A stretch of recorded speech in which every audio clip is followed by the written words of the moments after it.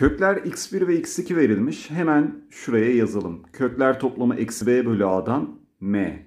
Kökler çarpımı c bölü a'dan 2. Bir de önünde 3 çarpanı var 6. Eşittir ondan m 4 geldi d şıkkı. Kökler toplamı üstteki denklemin alttaki denklemin kökler çarpımına eşittir demiş. Şimdi birinci denklemin kökler x1 ve x2 olsun. Bunun kökler toplamı eksi b bölü a'dan m eksi 3'e eşit. Bu diğer denklemin kökler çarpımı. Bu da e, kökleri bunun x3 ve x4 olsun. x3 çarpı x4 m eksi 2 bölü 2. İşte bu iki ifade birbirine eşitmiş. m eksi 3 eşittir m eksi 2 bölü 2. 2m eksi 6 eşittir m eksi 2'den m arkadaşlar 4 geldi. D şıkkı oldu. X kare eksi a eksi 1 çarpı x artı a artı 1 eşittir 0. İkinci dereceden denklemin kökleri x1 ve x2'dir demiş. Buna göre a kaç olabilir?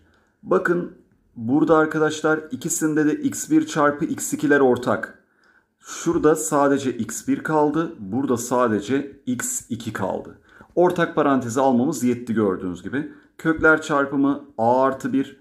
Kökler toplamı eksi b bölü a'dan a eksi 1. Bundan dolayı a kare eksi 1 eşittir 15.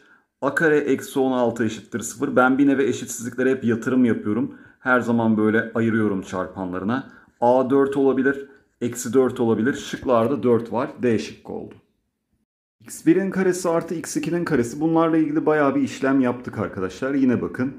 Ne diyeceğiz? x1 artı x2'nin parantez karesi eksi 2x1 çarpı x2 eşittir 4. Kökler toplamı e, burada eksi b bölü a yani kökler toplamı nedir? 0. Çünkü burada b yok. bx diye bir şey yok bakın. Kökler çarpımı ne? c bölü a o da 4 bölü n eksi 2. Eksi 2 ile çarpacağız. Eksi 8 olacak. Eşittir 4. Sadeleştireceğiz. Burası eksi 2. n eksi 2 eşittir. Eksi 2'den n gördüğünüz gibi 0 oldu. A şıkkı. Baktığınız zaman bu bir ikinci dereceden denklem değil aslında. Üçüncü dereceden denklem. İki tane kök burada var. Varsa bir tane kök de burada var. Bunun kökü zaten direkt belli. x3 diyelim buna. x3 ne? x1 çarpı x2 burada ikinci derece denklemden yararlanarak eksi c bölü eksi c nereden çıktıysa şu eksiden gözüm e, kaçtı. c bölü a'dan eksi n artı 2 oldu. Buradan x1 çarpı x2 çarpı x3 de eksi n artı 2 çarpı n 1 verilmiş arkadaşlar.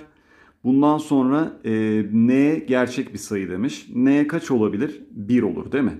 n 1 olduğuna göre yerine yazalım. x kare eksi x eksi e, orası 1 yaptı. Sonra burası zaten x eksi 1 arkadaşlar. Eşittir 0. Haliyle artık kökler toplamı x1 artı x2 1. Burada zaten x3 1 oldu. 3 tane kökün toplamı gördüğünüz gibi 2 yaptı. Bu şekilde ikinci derece denklem olmayanlarda da mümkün olduğunca ikinci derece denklem yorumlarından vazgeçmiyoruz. Ama şunun kökünü bulmak çok kolay olduğu için ekstra bir şey yapmaya gerek yok orada. Denkleminin kökleri x1 ve x2'dir. x1 ve x2 sırasıyla 2 ile doğru 5 ile ters orantılıdır. Doğru orantı ve ters orantıdan hatırlayalım. Birine 2k diyebilirsiniz. Öbürüne arkadaşlar k bölü 5 diyebilirsiniz. Ters orantı olduğu için tamam mı? Bundan dolayı kökler toplamını hemen bulalım. 2k artı k bölü 5 eşittir. Eksi b bölü a'dan 11. Böylece 11k payda eşitlediğimizde bölü 5 eşittir 11. Bunlar gitti. k eşittir 5 oldu. k 5 olduğuna göre bundan sonra neyi bulacağız buradan? k'yı bildiğimiz için artık neyi bulabiliriz? Birinci kök 10. İki, ikinci kök x2 5 bölü 5'ten 1 çarpımları 10 oldu. 6 eksi n c bölü a'dan kökler çarpımı n haliyle eksi 4 oldu. A şıkkı. Kök x1 artı 3 8 bölü kök x2'ye eşitmiş. Burada şimdi nasıl bir işlem yapabiliriz? Bakın. 3 e, öbür tarafa atalım. 8 bölü kök x2 artı kök x1. Payda eşitlersek 8 artı kök içinde x1 çarpı x2 bölü kök x2 eşittir 3 olur. Zaten kökler çarpımı c bölü a'dan 16 bölü 1 16. Hemen bunu gönder. 8 artı kök 16 artık buraya 16 yazacağımız için kökler çarpımından 8 artı 4 olacak. Kök içinde x2 eşittir 3. E, haliyle 12'yi kaça bölersek 3 yapar? Tabii ki 4'e bölersek. Demek ki kök x2 4'müş. Kök x2 4 olduğu için x2 de 16 geldi.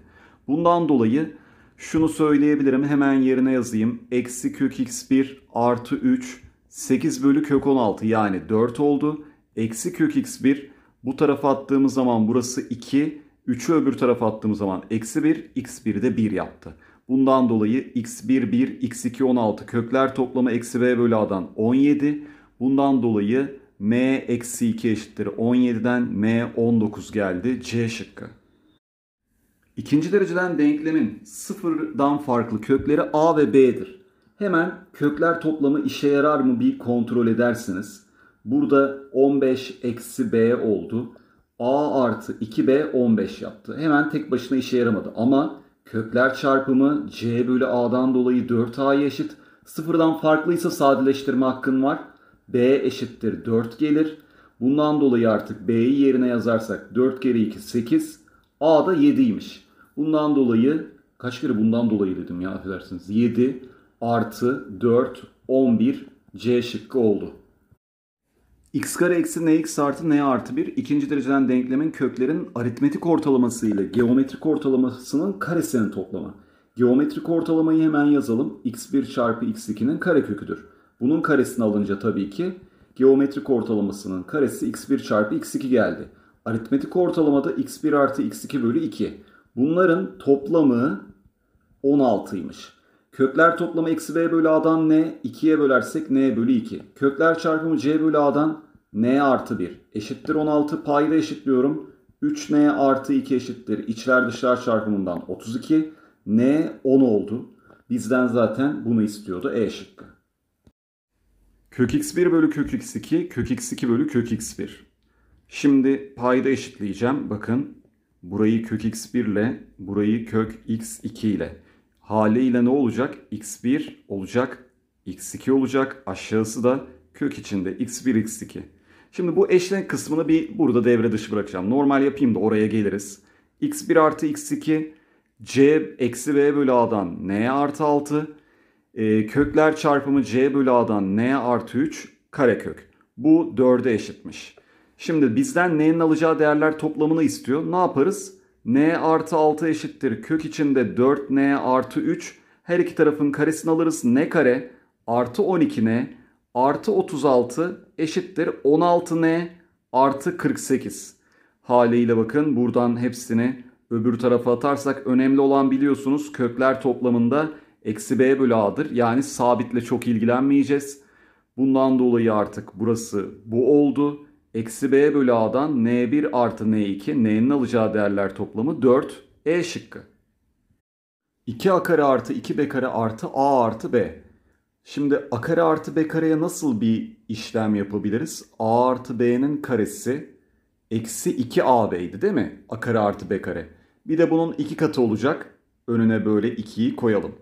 Artı a artı b eşittir 2. Sonra ne diyeceğiz? Kökler toplamı arkadaşlar eksi b bölü a'dan kenarda göstereyim bak m eksi 2 bölü m eksi 2 1. Demek ki a artı b 1'miş. 1'in karesi 1 1 eksi 2 ab. Yine burada artı ab'den dolayı 1 dedim. Burası da 2 oldu. 2 parantezinde 1 eksi 2 ab 1 yaptı. Burası 1 bölü 2 oldu. Artık 1 eksi 2 AB'ye 1 bölü 2 dersek 1 bölü 2 eşittir. A, 2 AB, AB de 1 bölü 4 oldu. Bizden ne istiyordu? M. Şimdi kökler çarpımı 1 bölü 4 olduğu için yerine yazarsak 2 bölü M eksi 2 C bölü A. Demek ki arkadaşlar M eksi 2 8'miş. M eksi 2 8 ise M'yi de 10 bulduk. B şıkkı oldu. İşleme dayalı bir soru gördüğünüz gibi. 1 bölü x1'in kübü artı 1 bölü x2'nin kübü. Enteresan. Şimdi burada payda eşitlersek x1'in kübü artı x2'nin kübü bölü x1'in kübü x2'nin kübü olacak değil mi? Şimdi paydayı en azından hemen hallederiz. Neden? Bu x1 çarpı x2'nin parantez küpüdür. Böylece 2 bölü 1'den c bölü a'dan kökler çarpımı 2.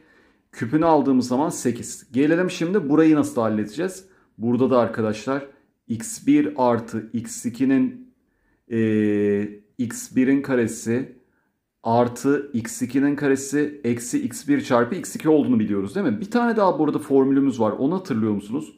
x1 artı x2'nin kübü eksi 3x1 çarpı x2 x1 artı x2. Bu da arkadaşlar yine x1'in kübü artı x2'nin kübüdür. Bunu da kullanabiliriz. Neden söylüyorum bunu? x1 artı x2'nin kübü zaten belli.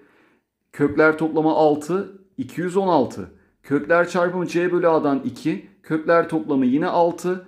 216'dan 6 kere 2 12 3 36'yı çıkartacağız. Yani 180'miş. Bak bu sefer bu formülü kullanmadım. Yine kullanırız. Problem değil ama bunu kullanmak istedi canım. Haliyle arkadaşlar 180 buraya yazdık artık bu ifadeyi. Sadeleştirdiğimiz zaman 4'e böl 45, 4'e böl 2 A şıkkı oldu.